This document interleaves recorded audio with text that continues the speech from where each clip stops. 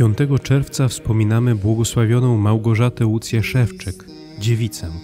Małgorzata urodziła się w 1828 roku w głęboko religijnej rodzinie polskiej w Szepetówce na Wołyniu. Wcześniej osierocona znalazła duchowe oparcie w Bogu i Matce Najświętszej. Mając 20 lat wstąpiła do trzeciego zakonu świętego Franciszka i złożyła prywatne śluby rad ewangelicznych. Jako tercjarka odważnie świadczyła miłosierdzie w trudnym okresie niewoli narodowej.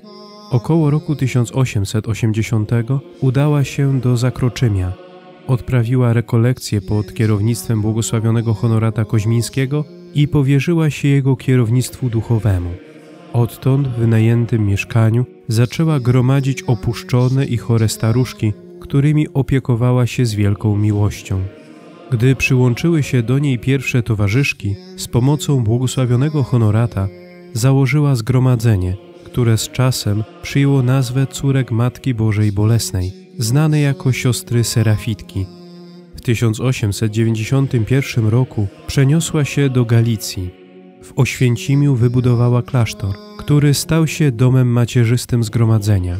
Ukierunkowała go na służbę opuszczonym i chorym oraz religijne wychowanie dzieci otwieranych sierocińcach i ochronkach. Była dla sióstr wzorem żywej wiary, bezgranicznego zaufania Bożej Opatrzności i szczególnej czci wobec Matki Bożej Bolesnej. Eucharystia stanowiła centrum i źródło jej zapału apostolskiego, gorliwości o chwałę Bożą i ofiarnej miłości. Zmarła w opinii świętości 5 czerwca 1905 roku. Została zaliczona w poczet błogosławionych dnia 9 czerwca 2013 roku w Bazylice Bożego Miłosierdzia w Krakowie. Módlmy się. Miłosierny Boże, dzięki Twojej łasce błogosławiona Małgorzata Łucja Dziewica z miłością służyła ubogim i chorym.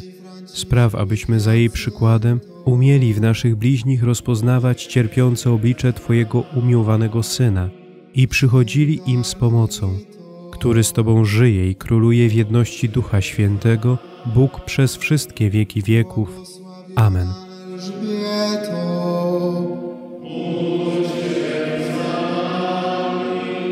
Wszyscy święci, święte Boże,